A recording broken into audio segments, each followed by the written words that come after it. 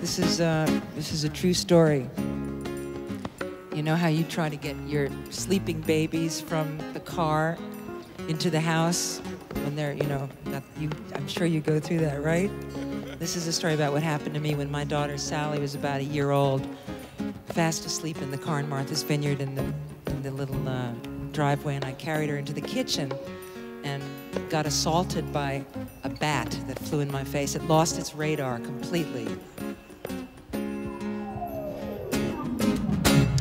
Fly in me face, fly in me face, fly in me face, fly in me face. Well, I hope the bat he don't come out, fly in me face tonight. When I come home from a party I'm feeling a little spaced, and I walk on in the kitchen and a bat fly in my face. Well, the bat come down the chimney. What do you do? You see, he wait in the fireplace. When he hear that I'm getting a little snack, the bat fly in my face,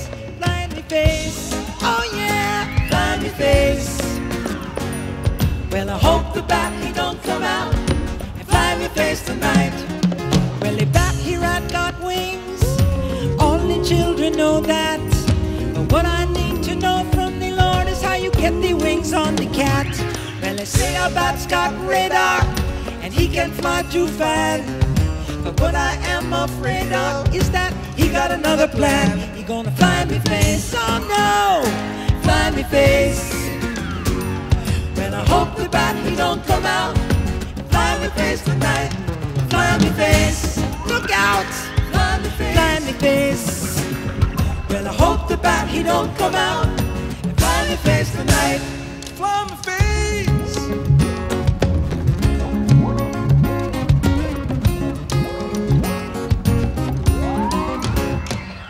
One thing I forgot to tell you about the human race.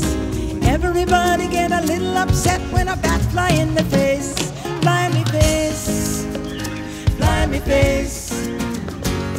Well, I hope the bat he don't come out.